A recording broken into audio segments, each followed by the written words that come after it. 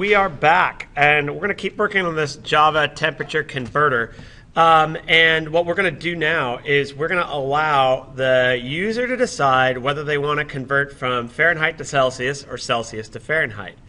And so already we have working code now. Um, anyway, so what we're going to do is we have to figure out okay, uh, we already have this variable called output, and we have this J option pane show message dialog where we take the output and display it. So that's kind of the results. So in a way, it's it's showing the results. So I'll put on here a little comment. And now the interesting thing is that we can modify that output based on whether it's Celsius to Fahrenheit or Fahrenheit to Celsius. And um, also, of course, your program starts with a welcome anyway and asking their name. We haven't actually used their name, so I'm going to use that in the next part here.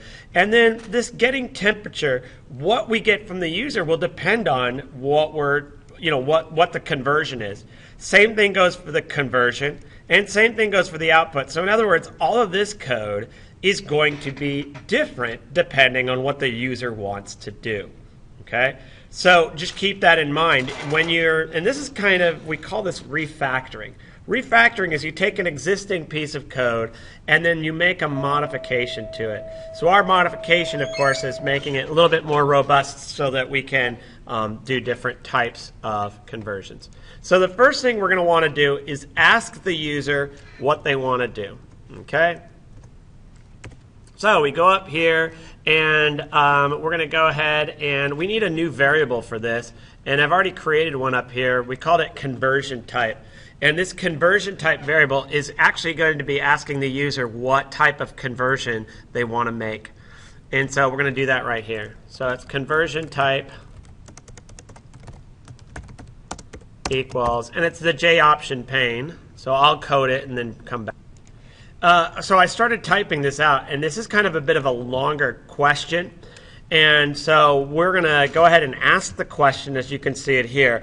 But I need to help the user determine what are they going to enter to tell us that it's going to be Fahrenheit to Celsius, Celsius to Fahrenheit.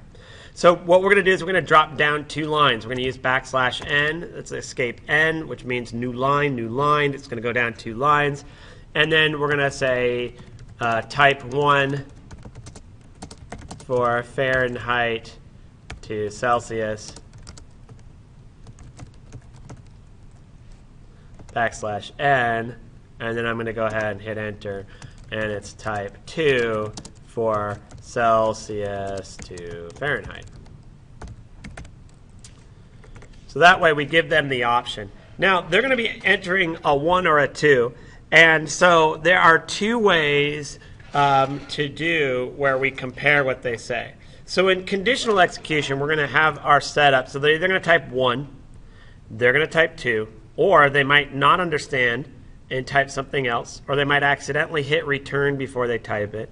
And they might, you know, add a dot or something. There's any ways they can do it wrong. So we're going to want to make sure that we account for that. So there's really three different outcomes.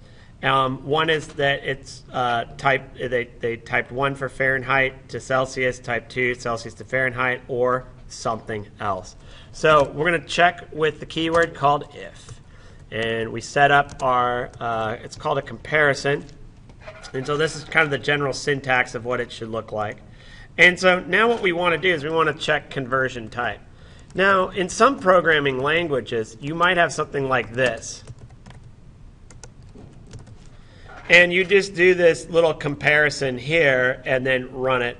Um, I tried that and and because in Python you can do it, and I'm guessing other program, programming languages you can do it. And I tried it, and it and even though you typed one, it wouldn't actually do what was in there.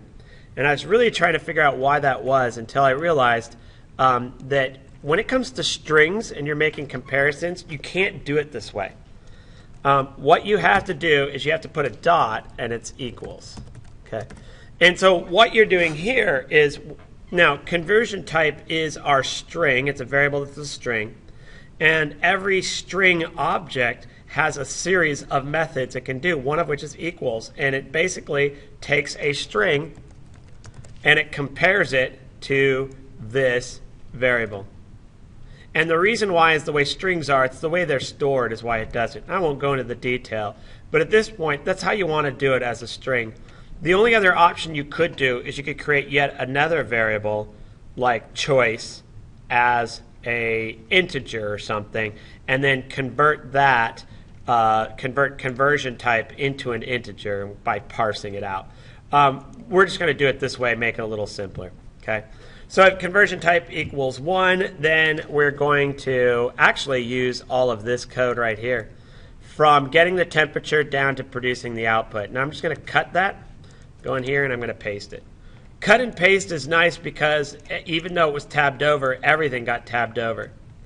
Okay, so now we have a couple other options here, and that is if, and it's conversion type again, dot equals. Now notice you've got uh, all these different ones here. Contained, does it have something inside? Is it empty? And all of these, usually what happens is you're going to see, and I'll show you the equals, Oops. Let me go back here for a second because I, I want you to see this. If you see equals, look what it returns. It returns a Boolean. So you send it an object in the form of a string, and it's either going to say true or false. So it either equals that string or it doesn't. If it doesn't, it returns a false. If it does, it returns a true. Now we want to get the temperature. We want to basically do all this in reverse. And so we'll do that in just a moment. The last thing is we'll cover the easier one, which is else. In other words, this is our catch-all. If nothing else works, we're going to go ahead and do a J option pane and just a show message dialog. And we'll give it a null. And we'll put on here, oops. That is not one of our hit enter, go back, hit enter uh, options. Now at this point, we're just covering how to do this conditional execution. And uh, actually, I'm going to cut this out and move it down here just so it, it's a little bit easier. Um, and then in the future, what we'll do is we'll make it so that if this happens, we're going to keep asking. And we'll do a thing called uh, exception handling. So we're going to try it, and if we don't get the right output, then we're going to go ahead and do it the other way. So anyway, so else is a catch-all. If neither of these happen, this is what occurs. And so the last thing we want to do now is do all of this, yet do it uh, and, and convert it the other way. Now, don't know why it did it or it didn't tab it over. So we're going to get the temperature. Um, and we're going to do it like here. And this time we're going to change this from Fahrenheit to Celsius. And then now it's going to be the opposite. So it's going to be Celsius equals double dot parse double temp input. That's the same because there's our variable. Okay, so temp input is a catch-all. We can use it anytime we're going to input a temperature as a string. So we parse it, now we're going to do the reverse. See, it doesn't like this. It doesn't like it because Fahrenheit might not have a value. And in just a moment, we're going to give it a value. We do have a value for Celsius. So basically, this is going to be the opposite now. So Celsius is not equal, um, or Fahrenheit now is going to be, sorry, I'm like pausing here for a moment as I try to figure it out. It's actually going to be Celsius. Let's get this variable here. Celsius times 5 divided by 9, and then we're going to add 32 in its place. And that converts it, and then we just change this. Celsius is, oh, we're going to round Celsius and then we're going to format Fahrenheit degrees. Now, a couple things for you to notice before we run it and test it out, and this should be good. I, I think it's good, but we're going to find out for sure in just a moment. Is notice we create the output variable up here. We initialize it to blank, um, and then we set it here, our output, um, in, in the case where they want to go from Fahrenheit to Celsius We do the same thing here if it's the opposite. And then finally the output. Ah, we made a mistake here. There we go. It's a good thing I checked checked this out. Output equals. So, uh, and we can't do it as J option pane, right? Because we're not showing it. We're just setting the value of option. And get rid of that to clean it up. I apologize because that was not what we needed to do. At this point, this should show us the results. By the way, don't feel bad if you make mistakes. It happens all the time, even if you know what you're doing and you've done it for a long time. So we're going to go ahead and try to run this and see how it works. Welcome your user with a nice message here. Make sure you do that. Don't leave that saying that. How embarrassing. Uh, what's your name? Well, I'm 100 Visions Guy.